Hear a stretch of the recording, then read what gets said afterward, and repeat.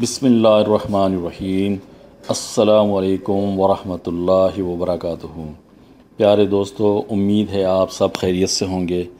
اللہ سبحانہ تعالیٰ سے دعا ہے کہ وہ آپ سب کو اپنی حفظ و امان میں رکھے اور دونوں جہاں میں حیات طیب عطا فرمائے۔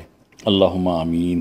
اللہم صلی علی محمد عبدک و رسولک و صلی علی المومنین والمومنات والمسلمین والمسلمات۔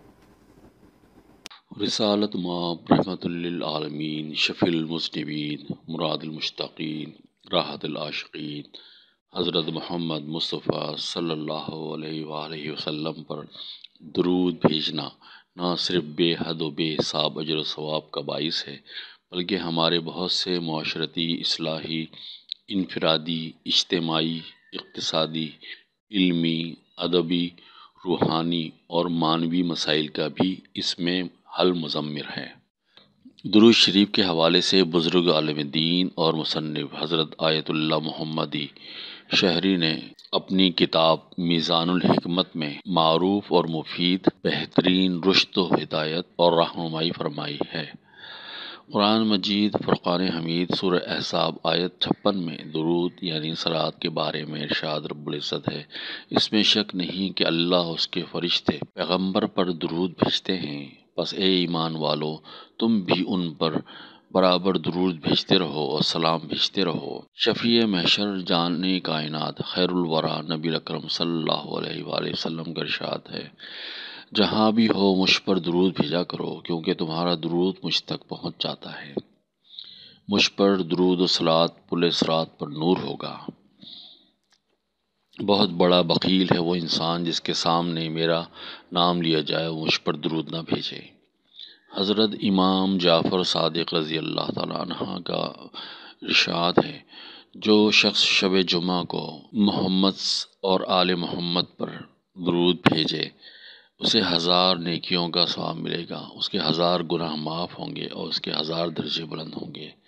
ایک مرتبہ حضور اکرم صلی اللہ علیہ وآلہ وسلم پر درود بھیجنے والے کو اللہ تعالیٰ کی جانب سے دس رحمتیں عطا ہوتی ہیں۔ امیر المومنین حضرت علی کرم اللہ وجہ رضی اللہ تعالیٰ سے روایت ہے کہ حضور اکرم صلی اللہ علیہ وآلہ وسلم نے شاد فرمایا، کوئی دعا ایسی نہیں جس کے اور اللہ کے درمیان حجاب نہ ہو۔ یہاں تک کہ دعا کرنے والا حضور اکرم صلی اللہ علیہ وآلہ وسلم پر درود بھیجے۔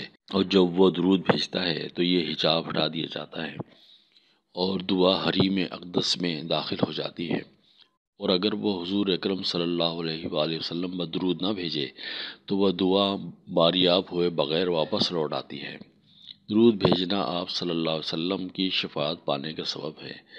بس درود و سلام منفرد عبادت ہے اور یہ وہ افضل ترین عمل ہے جس میں اللہ تبارک تعالیٰ اس کے فرشتے بھی بندوں کے ساتھ شریک ہوتے ہیں اور اس عمل کے ذریعے بندے کو اللہ کا قرب نصیب ہوتا ہے اور اس کے ذریعے گناہوں کی بخشش، درجات کی بلندی اور قیامت کے روز حسرت و ملال سے امان نصیب ہوتا ہے۔ حضور اکرم صلی اللہ علیہ وآلہ وسلم پر درود و سلام بھیجنے والے کے لیے۔ حضور اکرم صلی اللہ علیہ وآلہ وسلم پر درود و سلام بھیجنے والے کے لیے اس عمل کی فضیلت یہی کافی ہے کہ اس کے عوض اللہ اور اس کے فرشتے اس شخص پر درود و سلام بھیجتے ہیں اور خود حضور اکرم صلی اللہ علیہ وسلم بھی اس پر درود و سلام بھیجتے ہیں۔